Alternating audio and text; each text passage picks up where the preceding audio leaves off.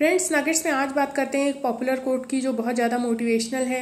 ये कहता है कि if you fail to plan you plan to fail यानी कि अगर आप लाइफ में कोई प्लानिंग नहीं करते हैं, चाहे वो आपके हेल्थ से रिलेटेड है या रिलेशनशिप के या कैरियर से रिलेटेड कोई प्लानिंग नहीं करते हैं तो एक्चुअली में आप जो प्लान कर रहे हैं वो बस फेलियर है, या फिर आपको लाइफ में कुछ ऐसी चीज़ें फेस करना पड़ सकता है जिसको कि आप फेस करना नहीं चाहते थे या वो बहुत पेनफुल फ़ेज़ हो सकता है।